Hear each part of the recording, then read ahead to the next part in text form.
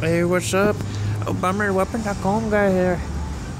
I wanted to ask the public why they think that there could be a transmitter that could precisely focus a beam uh, into one location. Because you know about lasers, right? You point it at whatever, and the beam goes straight.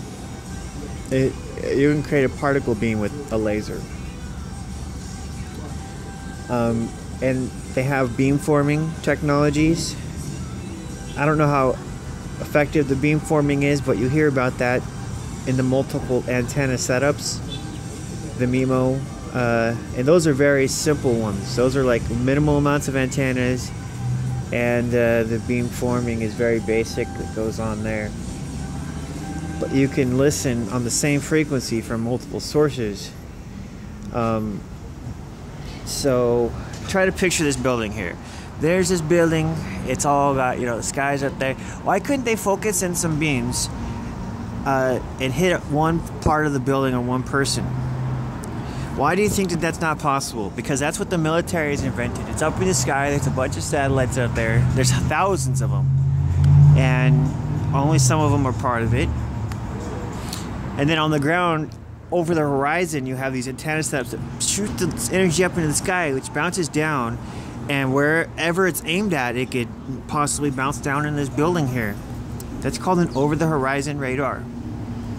And so, other and also other people call interferometry, and this interferometry that lets them image things. So, so they might light this building up with some frequencies, and then that, those frequencies will return to their imaging device, which might be their satellite or their antenna, and then suddenly they can see what's going on.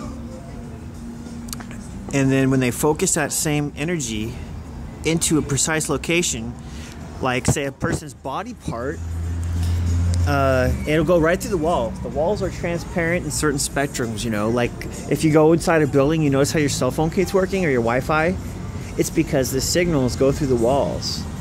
And uh, it's not like the light frequencies that get blocked a little bit. And so they'll focus in. Now, there's a difference from Wi Fi and cell phone technology, though. Yeah, there's some beamforming and there's some from multi input, multi output, but it's still basically omnidirectional. And so it's not like focus, okay? So they don't aim it at a point like a laser now, with the military's technology, they are focusing it and aiming it at one spot. And so it's like a beam of energy. And that's why it only hits one person. And I'll, they have the ability to transmit from multiple locations to one location so that they can hit a person from multiple directions. That's their secret sauce is they can